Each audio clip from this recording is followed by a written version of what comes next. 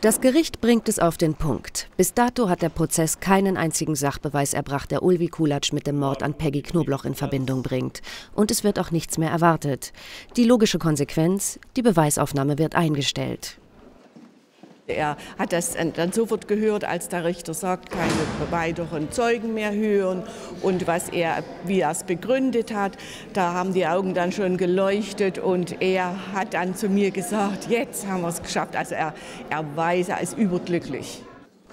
Er hat auch allen Grund dazu, denn es gibt keine Basis für eine Verurteilung.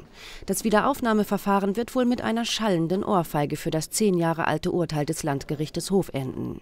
Ulvi Kulatschs Verteidiger wird übermorgen für einen lupenreinen Freispruch plädieren. Ich gehe jedenfalls davon aus, dass Herr Kulatsch erwiesenermaßen den Mord an Peggy Knobloch nicht begangen haben kann. Also Erfolg für Sie auf ganzer Linie?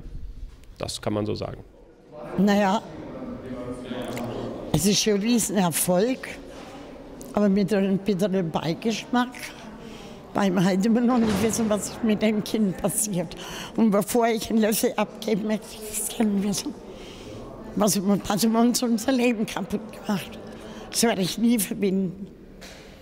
Selbst die Staatsanwaltschaft dürfte für einen Freispruch von Kulatsch plädieren. Die ehemaligen Eckpfeiler der einstigen Verurteilung sind in sich zusammengebrochen. Es muss erst einmal der Tag noch abgewartet werden nächste Woche. Und wenn dann der Richterspruch erfolgt, dann sagen wir, dann können wir sagen, jetzt haben wir es erreicht und es ist schon auch, ich betrachte es schon auch ein bisschen als mein Lebenswerk. Für Ulvi Kulatsch, und nur um ihn geht es in dem Prozess, zeichnet sich ein riesiger Erfolg ab.